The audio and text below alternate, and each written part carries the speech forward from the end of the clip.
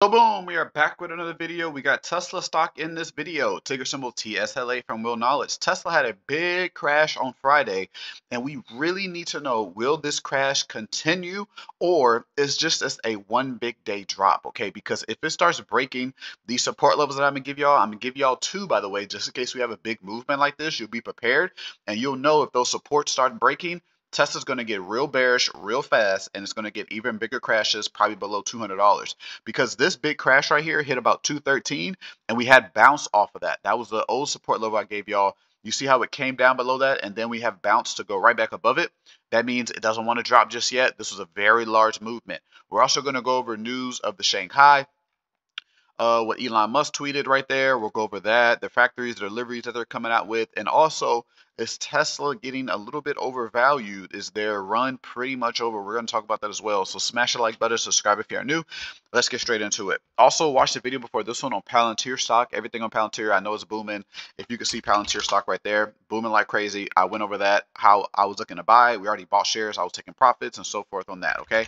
The video right before this one. So, Tesla, we had a big drop. But before we go over all the major levels, let's go to a little bit of the news. As y'all know, if you have a owner like um, Elon, he's going to be in news pretty much almost every day. Okay. Now, Elon Musk has confirmed that the Tesla Gigafactory Shanghai is currently running at maximum capacity. This suggests that China uh, would likely be operating at full throttle all the way to end of 2022. He responded to some allegations, as you can see here. Um, yeah. So I think somebody wrote down here, and then he replied, "Believe in the news is silly." He said on September 7th. Believe in news is silly. Our Shanghai factory is running at a max capacity. Okay, I keep clicking it, it goes. But yeah, Shanghai is running at max capacity. That's what Elon Musk said. Okay. Also, their sales roar back in August, high months marking a 37 increase compared to July, according to data released Monday by the China Passenger Car Association. So this Monday, that's the news that we kind of got, all right, to defend its Tesla position in China. So their deliveries were about 63,000 domestically in China, while reporting 23,000 China-made vehicles to foreign markets during August, which was last month. So that was a sales growth of 37% versus the 46,000 sales in July, right? So they're growing pretty good, but they're still about 2% down compared from the last year, August of 2023, right? Down about 2%. Now, with that being said, they're pretty they're doing pretty good um, in China. Okay, they also sold last week. The China passenger car released preliminary data showing Tesla sold 86,000 China-made EVs in August, including exports. That marked a 7% increase from July and a 3% jump a year earlier. So they're doing pretty good in China. That's just a little bit of news. Uh, anytime I make Tesla video, I try to add some news in there as well. But Tesla is looking very heavy on the downside. Okay, there's only one way I would change that and say I'm expecting upside on Tesla. Okay, and also, do I want to sell Tesla in this range?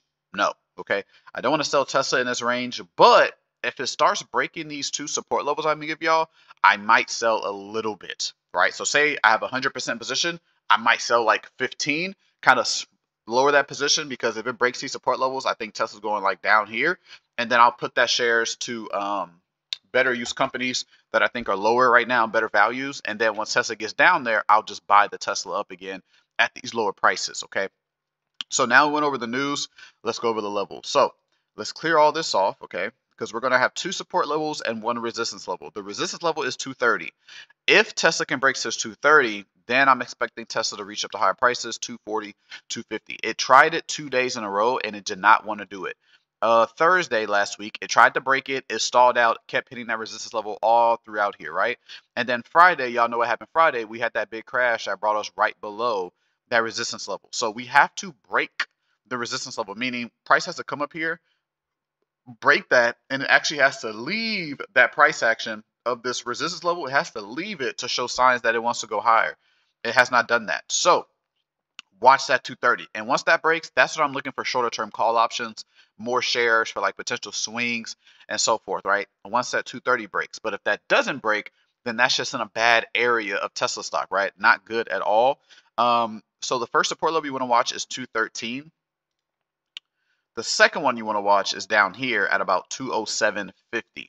So I'm going to put two now. I don't want to put too much on the chart, but 207, 207.50. These are the levels you want to be watching out for right here because if we break this 207.50, right, maybe instead of selling the shares, I'll get swing put options, try to profit about 20, 30%. Like say you put $1,000 and you profit 20%, that'd be about $200. And I'll save that $200. So the, profit that I make off Tesla, I'll just put it aside.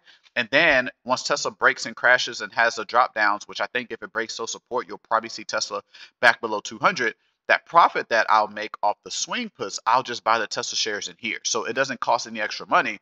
I'm just using the Tesla profit to just put it back in the shares. I could do that also, but just make sure you join the team first in the description. You get to see everything I buy and sell. You can also join the private market live streams where we're going over all this every morning, right? Even this morning, we did some Apple put options that did uh, over 30% gains right there. And it only took about three minutes for that play to form. And we were literally done. I got off live. Everybody enjoyed their day we did all our profit. You can see 10%, 20%, and over 35% gains. Then also, I, I took some profit off Palantir. Um, you can see that when you join the team as well. But to make sure you join the team, we got elite, elite year, lifetime memberships, and personal training. Everything's on the website, first in the description. See which fits you best, okay? And also make sure you follow me on Twitter, Will Knowledge 77 I be posting on Twitter about the Apple event that was going on, Palantir, all that good stuff. And also follow me Instagram at will.knowledge. Make sure you follow the right one, okay? So those are the two. Make sure you follow the right one.